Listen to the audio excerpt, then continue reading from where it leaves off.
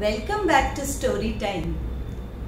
In our land, we have always heard the term of Upanishads, that great knowledge of the Vedas, which is the essence that everyone ought to know and ought to strive to know. Upanishads means going near the Guru, sitting at the feet of the Guru and gaining the highest knowledge. So, dear listeners, let us listen to a series of stories based on the Upanishads. And today's story is from the Chandogya Upanishad and it is the story of Satyakama. Little Satyakama was a boy who lived with his mother, Jabala. He lived on the outskirts of a village near a forest in a small hut. He did not know the whereabouts of his father and he often wondered who his father would be. He always had a thirst to go and study in a Gurukul under some great Rishi or Guru and so one day he asked his mother. He told her, Oh dear mother, I wish to go and enroll myself in a Gurukul. I wish to get that highest knowledge, Brahma Vidya, the knowledge of Brahman, the Supreme Lord. Now, Jabala was so happy. She said, Dearest son, you have my blessings. Go, go and enroll yourself at the feet of some great Guru. However, little Satyakama, his name meant the seeker of truth. He wanted to know what would be the answer to be given to the Guru when he asked him about the details of his family. Because in those days, the teachers would admit students only if they belong to some special families. We all know how Dronacharya refused admission to Ekalavya. And so, Satyakama wanted to know what answer was to be given to the Guru. And Jabala looked very lovingly at her son and told him, Oh dearest son, you are my flesh and blood.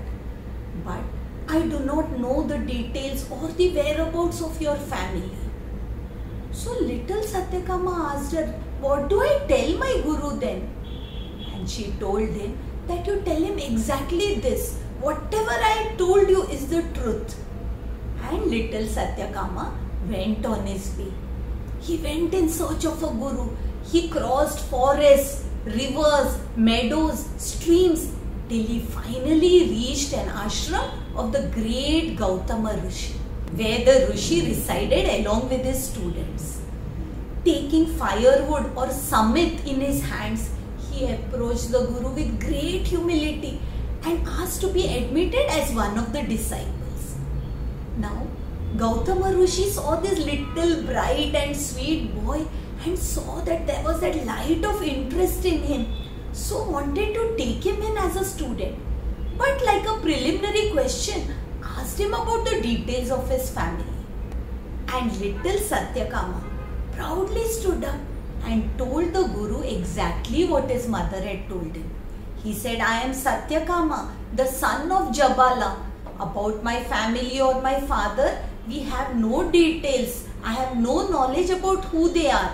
However, I am known as Satyakama Jabala. Everybody who was listening there was shocked.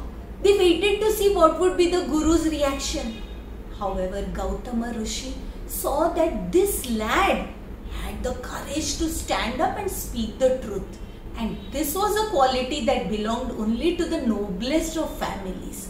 So he gladly decided to take him in as a student and told Satyakama to bring the firewood or samit inside the ashram. In those days, it was the custom for a student approaching the Guru to carry samit or firewood. It was a gesture that meant surrender, the readiness to serve the Guru, and the deep interest in knowledge that the child would have. Now, Gautama Rishi began his lessons. He began teaching Satyakama Brahma Vidya, the knowledge of Brahman, for which one had to learn to meditate. Because unless one knew oneself, one could not reach the absolute truth.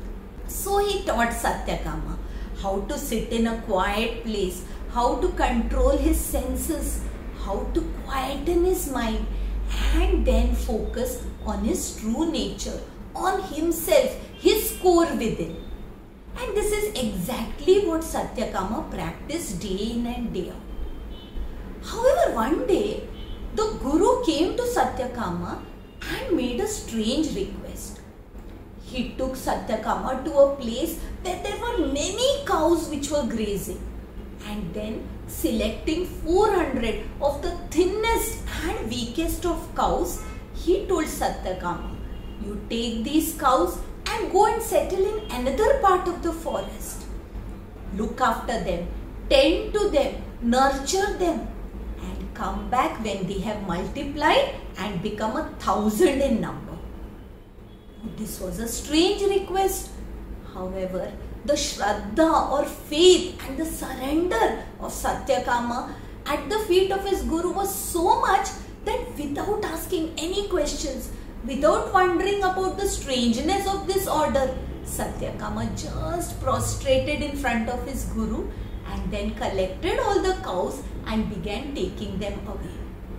He reached a place far away in another part of the forest where there was enough grass for the cows to graze on and began living there. He felt lonely. He missed his mother. He missed the life in the ashram. However, he still had no regret because he was obeying his guru. And thus he lived there. He began singing songs to the cows and the cows moved back at him. He began making friends with all the animals, the peacocks, the birds, he began speaking to nature. At night, when he slept, he looked at the infinite stars hmm. that looked down at him and he no longer felt alone. He would also practice the meditation that his guru had taught him. His day would begin with meditation and end with meditation. Soon, he began to see the Lord in the entire nature around him he understood that everything in nature belongs to the Lord, has been created by the Supreme and goes back into the Supreme after it decays and dies. He realized that he himself was a part of this eternal cycle. And thus the years went on. They moved ahead, but Satyakama had lost track of time. He had forgotten what he had set out to do. Till one day, a wise bull in that herd of cattle came near him and began speaking to him. He told him Satyakama and Satyakama immediately folded his hands and responded, waited for what the bull had to say. The bull said, Now we have multiplied. We are strong, plump and healthy. We have now reached the number of thousand. So take us back to your Guru and I shall tell you about the nature of Brahman, that what you are seeking. Now Satyakama was very happy. He folded his hands. He had great respect for everything in creation. So he waited for the bull to speak. And the bull said, The light from the east, the light from the west, from the north and the south is all Brahman. Because Brahman is universal. This is only a quarter about Brahman. More about it will be told to you by Agni. Hearing this, Satyakama was filled with great happiness and folding his hands, he began collecting the cattle and started moving towards the ashram of his guru. Of course, it took a long time to reach there, so the next evening he had to camp at a place where the cattle could rest. So Satyakama, facing the east, lit up a fire and the fire began to speak to him. The fire said, The earth, the atmosphere is all Brahman. The sky and the ocean is also Brahman. It is endless. It does not have a beginning nor an end. However, this is only a quarter about Brahman. More will be told to you by a swan. Again, Satyakama was very happy and folding his hands in gratitude began collecting his cattle and set out once again. The next evening he again camped near a river. He lit a fire and then as he watched he saw a swan gliding gracefully on the waters and approach him. And the swan began to speak. The swan said, The fire is Brahman, the sun is Brahman, the moon is Brahman. Everything that lights up the light of life is Brahman. Know this to be just a quarter of Brahman. More of it will be told to you by a bird. Again, Satyakama gratefully acknowledged the truth in the statement of the swan and set out on his journey once again. The place where he camped next was a beautiful sight in the forest. The cows were resting and suddenly he saw a purple sunbird fluttering its wings and approaching. The wings glistened in the fire sparks and the bird began to speak. And the bird said, The breath rests in Brahman. The eye, the ear, the mind all rest in this highest Paramatma which is known as Brahman. It is the final resting place for everything in creation and this is the truth. Satyakama suddenly realized all that had to be known and his face glowed with that light of knowledge. His heart was filled with love. His mind was filled with happiness and bliss. Folding his hands in gratitude, Satyakama now set out and reached the ashrama of his guru. When Gautama Rishi saw Satyakama approaching the ashram, he immediately realized that Satyakama had got the highest knowledge. He praised Satyakama. He said, Your face glows. You are filled with the tejas which is born only after attaining the highest knowledge.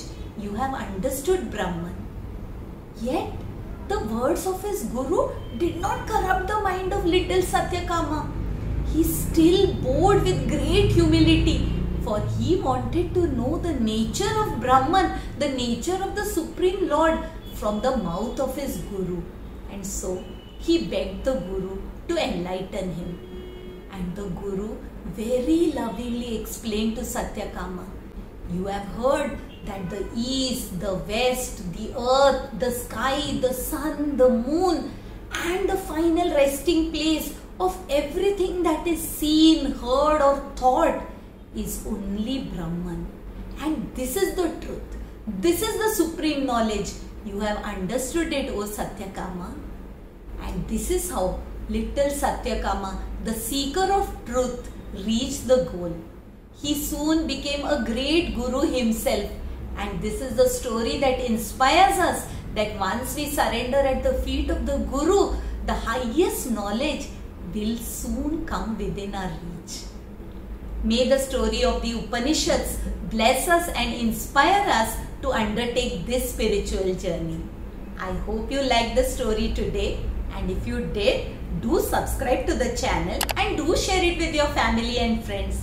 And I will be back with another story from the Upanishads next Thursday. Until we meet again, Hari Om.